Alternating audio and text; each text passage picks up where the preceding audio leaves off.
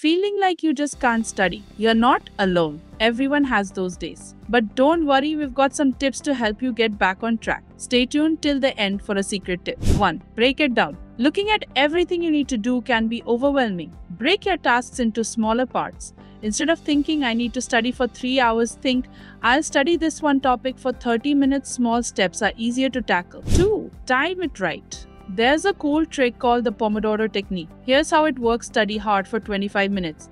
Then take a 5 minute break to do something fun. It helps keep your brain fresh and ready to learn more. 3. Treat yourself. Tell yourself you'll get something nice after studying, like your favorite snack or a little bit of game time. It's like making a deal with yourself that can make you more willing to study.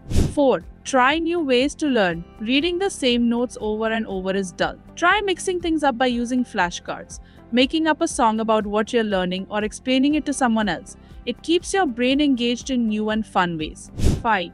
Smell and taste hack. This might sound odd, but it works. Have a unique gum flavor or scent around only when you study. Later on, that same taste or smell can help bring back what you studied. Cool, right?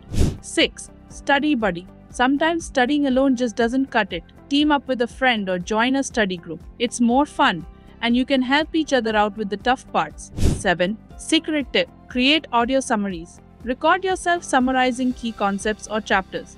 Listening back to these recordings can reinforce your memory and is a great way to revise on the go. Remember, everyone struggles with motivation sometimes.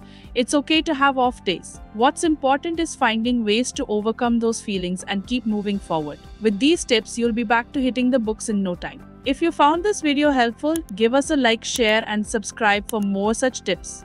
Good luck and thanks for watching.